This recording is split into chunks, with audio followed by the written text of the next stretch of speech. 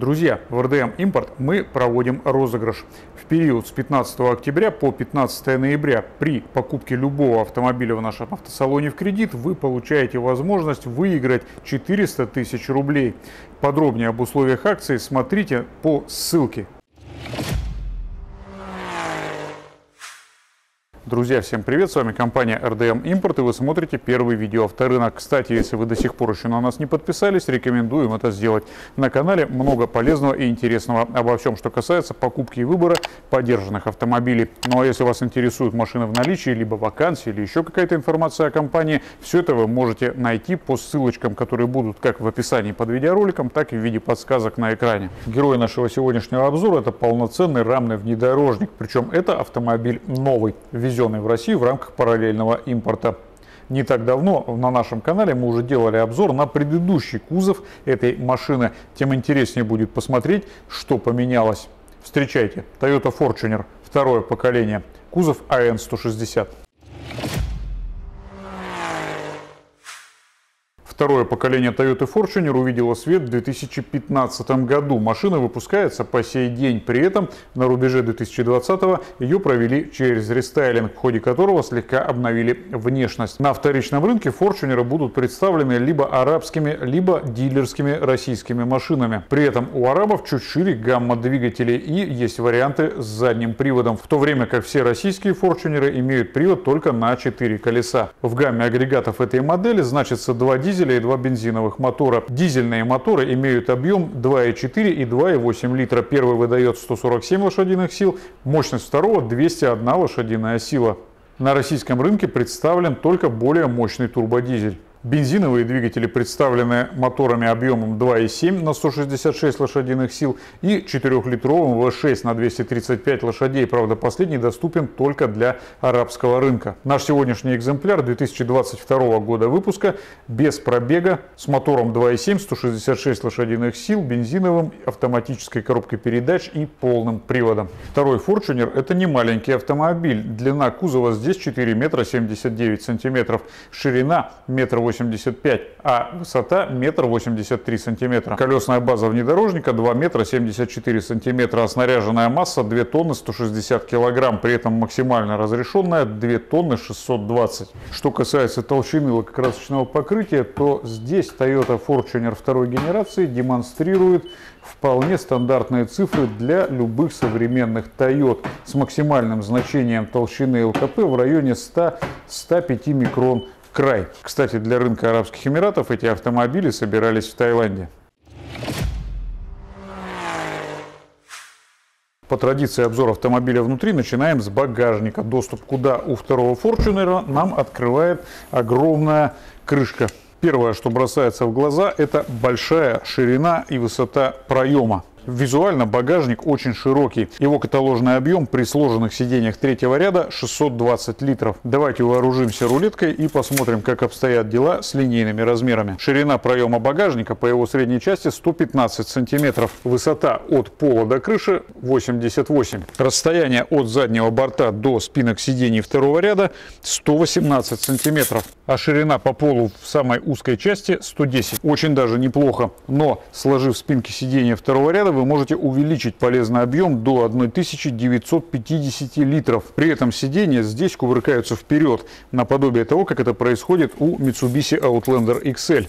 И при этом длина багажника по полу у вас возрастает до 1 метра 73 сантиметров. А вот неудобство заключается в том, что сложенное сиденье полностью перекроет вам пространство между передними креслами. И, соответственно, длинный груз вы туда уже не просунете. Что касается дополнительных удобств в багажнике этого автомобиля, то здесь говорить, пожалуй, решительно не о чем, не считая плафона освещения наверху и ниши с инструментом по левой стороне за фальшпанелью. Да еще 12-вольтовые розетки с левой стороны. Но при поднятых сиденьях третьего ряда в данном случае багажник становится маленький. 297 литров полезного объема.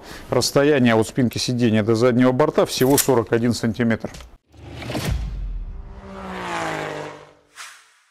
Ну а теперь про салон. Автомобиль новый, соответственно, сиденья в данном случае затянуты в целлофан, и снимать транспортировочные пленки мы не будем.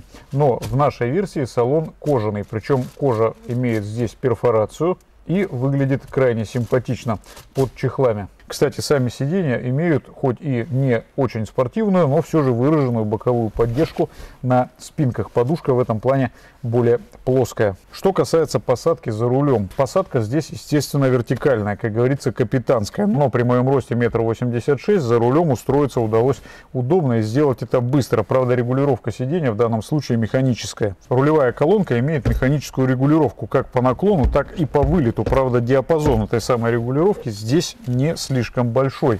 Если отодвинуть до упора назад водительское кресло, то я могу полностью вытянуть и выпрямить левую ногу в колене. При этом я буду доставать носком до пола салона, но придется потянуть его вперед. Так что в целом, надо сказать, что для людей большого роста запас пространства в этой машине все же есть. Что касается опоры под локти, на дверной карте у нас имеется отделанный кожей подлокотник, а с правой стороны это крышка центрального бокса.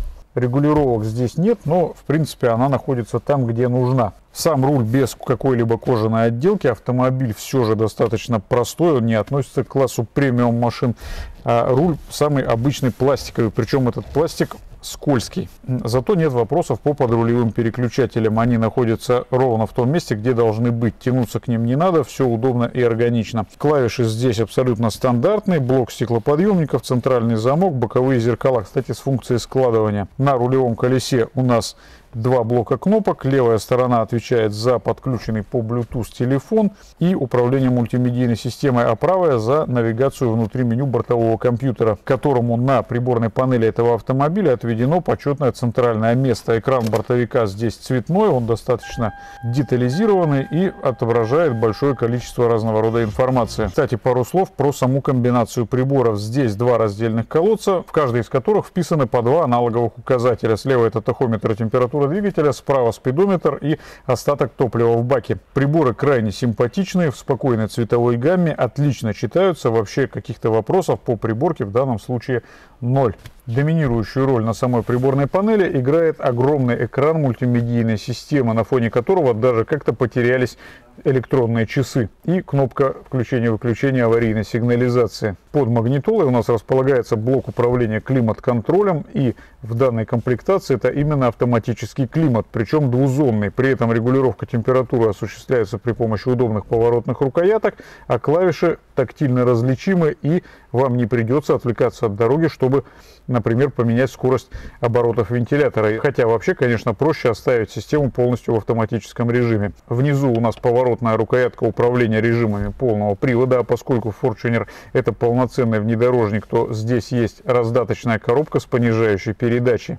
А ну а по типу полного привода эти автомобили простые. Здесь схема part-time, то есть жестко подключаемый перед без межосевого дифференциала. Ездить на таком полном приводе по дорогам с твердым покрытием при включенном 4 ВД нельзя. Это чревато как минимум износом резины, а как максимум поломкой трансмиссии. Ну а в случае, если вы задумаете поехать на таком автомобиле с подключенной передней осью зимой в гололед по трассе, скорее всего, эта поездка окончится где-нибудь в кювете, поскольку предсказать поведение автомобиля с жестко подключенным передом будет довольно проблематично. Рядом с шайбой включения режимов 4WD располагаются клавиши включения подогрева сидений. Здесь же справа от рукоятки управления системой полного привода располагаются клавиши подогрева сидений с огромными пиктограммами. Промазать по ним не получится при всем желании. Если кого-то раздражали маленькие выдвижные поворотные ручки управления подогревами, например, на Land Cruiser 200, то вот решение не слишком элегантная, зато крайне надежная. Справа присутствует 12-вольтовая розетка. За привычным селектором коробки передач с провязью типа змейка у нас располагаются кнопки управления режимами КПП, которые здесь, кстати, шестиступенчатая. Это режим спортивный и режим экономичный. И кнопка включения-выключения системы стабилизации. В плане бардачков, подстаканников и прочих мест для хранения здесь есть подстаканники в передней части перед селектором, которые закрываются крышкой.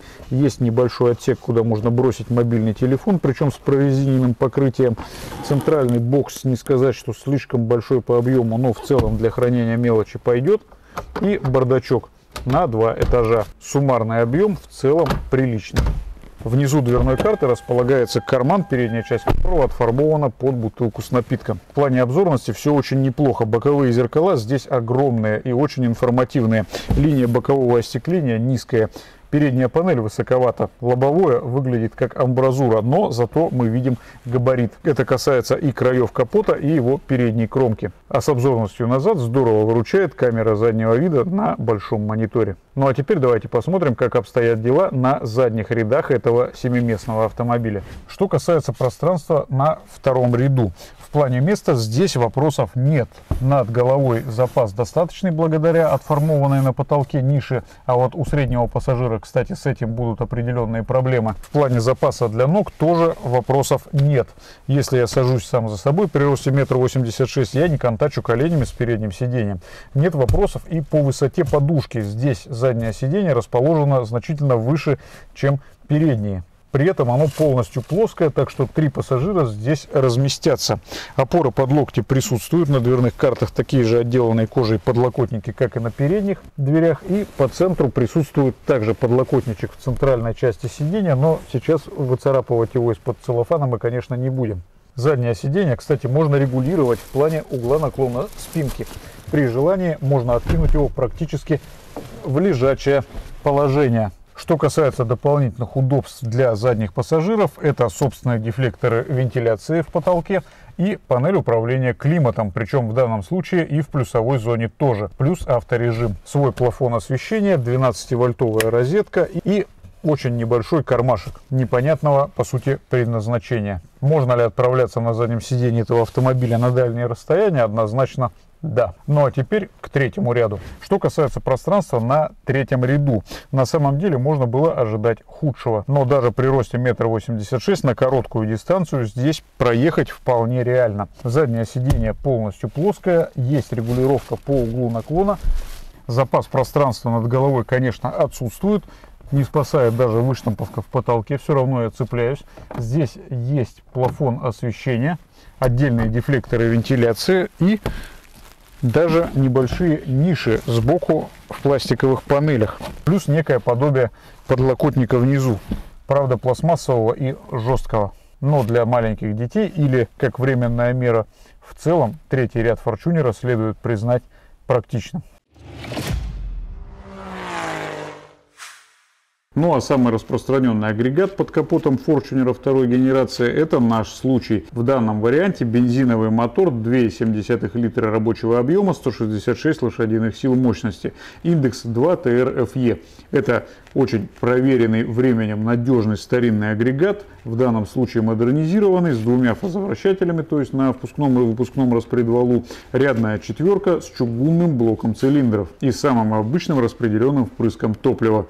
Плюс у этого мотора цепной привод газораспределительного механизма, который не вызывает каких-то вопросов с точки зрения ресурса, да и вообще это один из самых надежных двигателей, которые можно купить под капотом современного авто. Да, этот агрегат в сочетании с автоматом не наделяет автомобиль какой-то особой динамикой. До сотни подобный Fortuner разгоняется за 12 с небольшим секунд, а максимальная скорость всего 160 км в час. Но по сути равному внедорожнику особой прыти и не нужно. Зато ресурс данного силового агрегата это свыше 400 тысяч километров пробега. Плюс он достаточно несложен для самостоятельного обслуживания. Масло вязкостью 5В20, объем 5,5 литров. Интервал замены 10 тысяч километров пробега. Работает этот двигатель здесь в паре с автоматической коробкой передач, чья маркировка AC60F или AVR6B45. Это классический автомат, который тоже крайне надежен и способен отъездить под 400 тысяч километров пробега. Единственное, что нужно менять в нем масло вовремя. Вовремя это где-то раз в 60 тысяч километров, удаляя продукты износа блокировки гидротрансформатора. Если же этим правилом пренебрегать, то скорее всего рано или поздно автомат приедет на профилактическое обслуживание гидроблока с забитыми каналами. Что касается ходовой части этого автомобиля, здесь все крайне основательно. Подобную картину мы наблюдаем и на Land Cruiser Prado, и, соответственно, на пикапах Hilux и т.д. Все очень массивно. Это касается и рычагов, и стабилизатора поперечной устойчивости, и шаровых опор, и так далее. Концептуально передняя подвеска второго форчунера выполнена на двойных поперечных рычагах. Соответственно, шаровая опора у нас не только снизу, но и сверху тоже. Судя по опыту предшественников, ресурс этой ходовой части должен быть очень и очень большим. По крайней мере, владельцы тех же Prado 120 в свое время не обращались для ремонта ходовой части на пробегах где-то до 150-200 тысяч а кто-то и более. Очень многое здесь зависит от режима эксплуатации автомобиля. При эксплуатации внедорожника следует помнить о необходимости обслуживать крестовины карданов, которых в вашем случае будет два. Что касается антикоррозийной обработки, это машина для рынка Арабских Эмиратов. И какого-то антикора снизу здесь вообще не наблюдается. Местами присутствует герметик на соединительных швах кузова, но его очень и очень немного. Нет никакой дополнительной обработки на раме, нет никакой дополнительной обработки на порогах кузова. Кое-где металл прикрыт дополнительной защитой, но не более того. В базе автомобиля в левой части располагается топливный бак. Его объем 80 литров, а сам он сделан из пластика. При этом прикрыт двумя видами защит металлической со стороны кардана и пластмассовой снизу. Что касается задней подвески, то здесь у нас зависимая схема или попросту говоря мост надежно, просто. Что касается сейлинг-блоков, которых здесь все же насчитывается энное количество, они также достаточно крупные и, как показывает практика с моделями, со платформенниками, крепкие. Пружина и амортизатор разнесены отдельно друг от друга, что упрощает замену этих компонентов, когда придет время, а это случится очень не скоро. Ну а запасное колесо, как и на большинстве внедорожников в данном случае, подвешено под днищем. И, кстати, в задней части автомобиля в плане антикоррозийной обработки картина ровно та же. Поэтому, если вы планируете эксплуатировать подобный автомобиль в тяжелых дорожных условиях, да еще и на протяжении очень-очень многих лет, крайне желательно сразу после покупки озаботиться дополнительным антикором снизу. Таким мы увидели сегодня внедорожник Toyota Fortuner второй генерации 2022 год выпуска 2.7 бензин, автомат, полный привод. Если у вас был или есть автомобиль в таком кузове, на котором вы уже накатали достаточно и вам есть в чем нас дополнить и в чем поправить, прописывайте все это в комментариях. Ну а если заинтересовал конкретный экземпляр, который сегодня оказался у нас на подъемнике, есть приличный шанс, что к моменту, когда видео будет опубликовано, машина все еще будет в продаже. В РДМ Импорт в городе Новосибирске всю интересующую вас дополнительную дополнительную информацию по машине, включая стоимость, которая может со временем меняться, уточняйте по контактному телефону. Он прописан в описании под видеороликом, на нем же есть WhatsApp, так что пишите, звоните, задавайте вопросы. Если обзор понравился и был полезен, ставьте лайки, подписывайтесь на канал и пишите, какие автомобили вы бы, возможно, хотели видеть у нас на подъемнике в будущем. Спасибо за просмотр и хорошего дня. До новых встреч на канале. Пока!